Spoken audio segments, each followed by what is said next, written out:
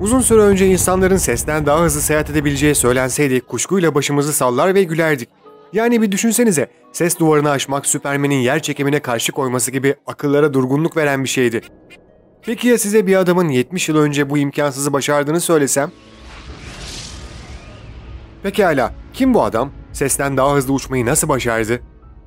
Hadi geçmişe kısa bir uçuş yapıp öğrenelim.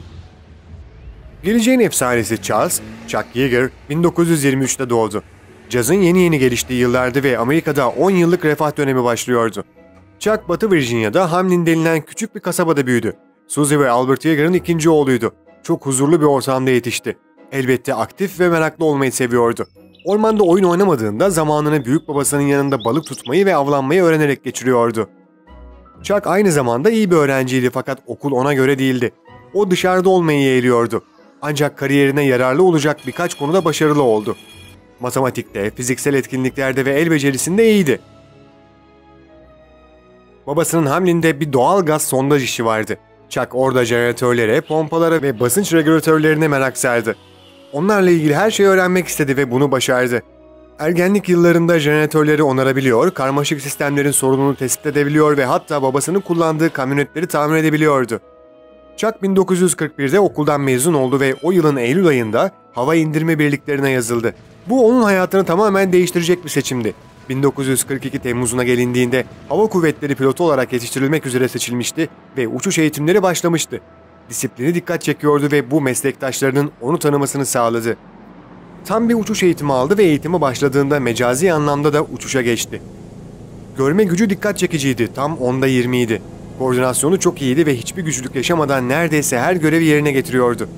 Bunlar yetmezmiş gibi stresli durumlarda sakin kalabiliyor ve işine odaklanabiliyordu ki bu özellikler bir pilotta aranan niteliklerdir. Rekabetçi kişiliği ve makinelerle olan geçmişinin yanı sıra tüm bu olumlu özellikleri eğitmenlerinin dikkatini çekti. Mart 1943'te nihayet kanatlarına kavuştu. Bir yıl içinde Avrupa çevresinde 279 saatten fazla uçmayı başarmıştı. Oradaki deneyiminin kariyeri için paha biçilmez olduğu kanıtlanacaktı. Sadece birkaç yıl içinde sesten daha hızlı uçabilecekti. Buysa hiç kolay bir iş değildi. Fakat galiba fazla hızlı gidiyorum. Önce fiziğe derinlemesine dalalım ve ses duvarının ne olduğunu öğrenelim. Bilimsel olarak konuşursak ses duvarı bir uçak ses hızına yaklaşırken aerodinamik kuvvete ani bir yükseliş olmasıdır. Nasıl mı? Sadeleştirerek anlatayım.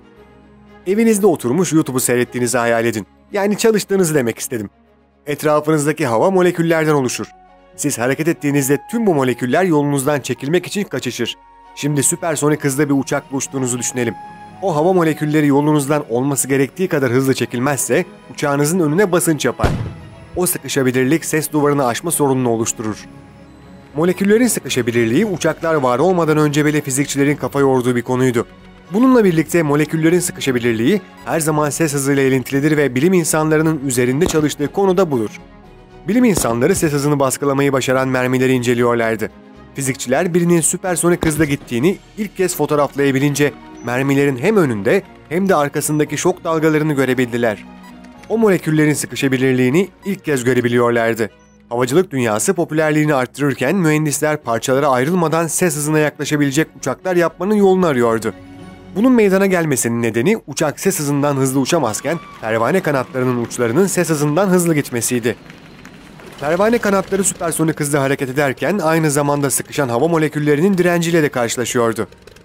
O yüzden mühendisler uçağın daha yüksek ve daha hızlı uçmasını sağlayan bir şey bulmak zorundaydı. Jetler piyasaya çıkıp da 1940'lardaki pervaneli uçakların yerini aldığı zaman sorun daha da dikkat çekici hale geldi. Fark ettiler ki jetler daha hızlı uçarken kanatların üzerindeki hava, kanatların altındaki havadan daha önce süpersonik hıza ulaşıyordu. Bu da oluşan şok dalgalarının uçağı parçalara ayırabileceği anlamına geliyordu. Ses hızı saatte 761 mile eşit olan Mach 1 değerine sahiptir. Fakat Mach 0.8'de yani saatte 613 mil hızda oluşan şok dalgaları bile uçak için tehlikeliydi.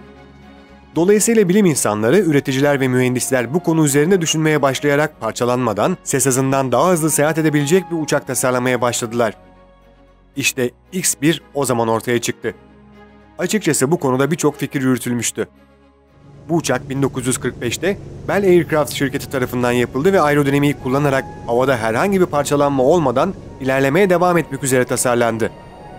Bilim insanları bir mermi ses hızına ulaşabiliyorsa, onu taklit eden bir tasarımın başarıya ulaşmada en iyi şansları olduğuna inanıyorlardı. Uçağın kısa kanatları vardı. Bir roket motoru takılmıştı ve gövdesinin çoğu yakıtla doluydu. Bu onun süpersonik hızlara çıkmasını garantiliyordu. X-1'in tek bir görevi vardı. O da ses duvarını aşmaktı. O yüzden hızlanıp sesten daha hızlı hareket etmek için yakıtını koruması gerekiyordu. Bir B-29 bombardıman uçağının altından fırlatılmak üzere tasarlandı. O büyük uçak X-1'i ihtiyacı olan irtifaya çıkarmaktan sorumluydu.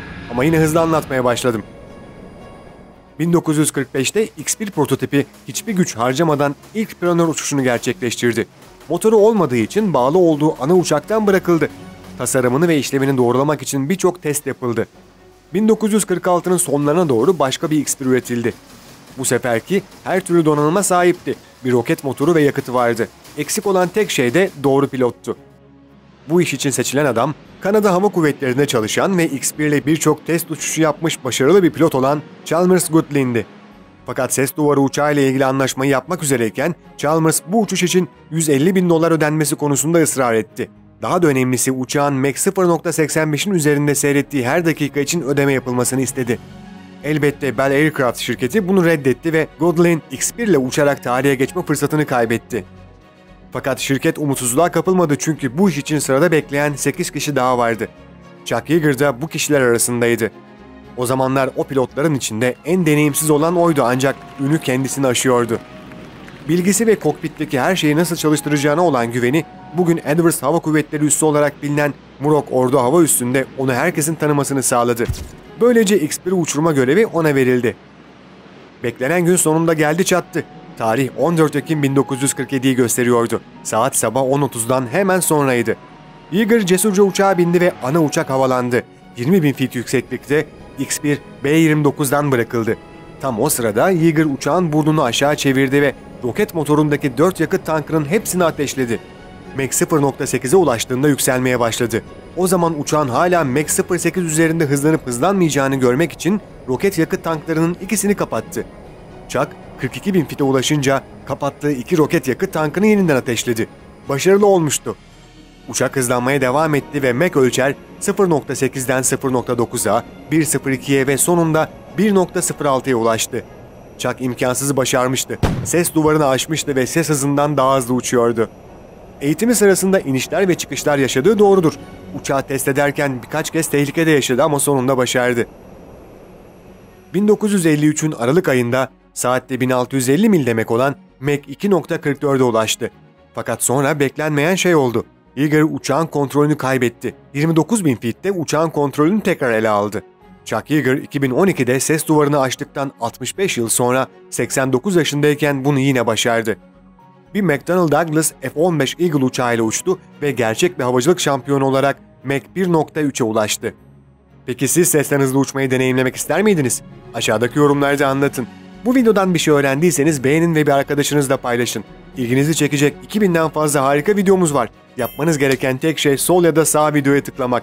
Hayata olumlu bakmayı sakın unutmayın.